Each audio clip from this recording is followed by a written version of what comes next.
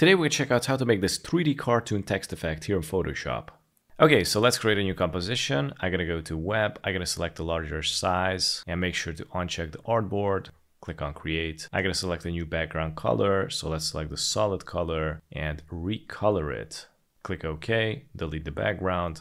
Select the type tool, press Ctrl T, press and hold Alt, scale it up and position it to the center. By the way, I went with the Archivo font, black italic. And from here, let's double click on the font layer, activate the drop shadow. We're to decrease the opacity quite a bit, somewhere around 10, 9. Make sure that you're on multiply black color reduce the distance. I'm gonna go down to five. Spread is gonna be zero. Size is gonna be again down to somewhere six five, and the angle is gonna be somewhere around 60. I'm gonna go with 64, 65. Click OK, and I'm gonna press and hold Alt and press the upper arrow a lot of times until it's going to create this thicker 3D effect.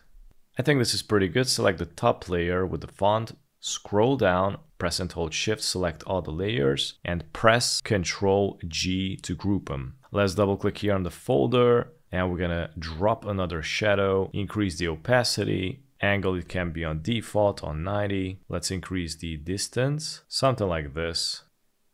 Increase the size a little bit more, click OK, and there you go. I also want to create that stroke line effect, so I'm gonna duplicate this group. I'm gonna press and hold Alt, drag it under, so it's going to create a new copy. I'm going to uncheck the drop shadow, collapse it, open it up, and I'm going to uncheck every effect on every each text.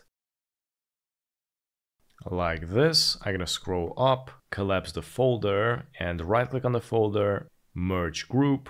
Let's double click on it and activate the stroke. And here you can choose to be on center, inside or outside. I'm gonna go with center and increase or decrease the size of the stroke. Click OK. And that's how I make this 3D text effect here in Photoshop. Thanks for watching.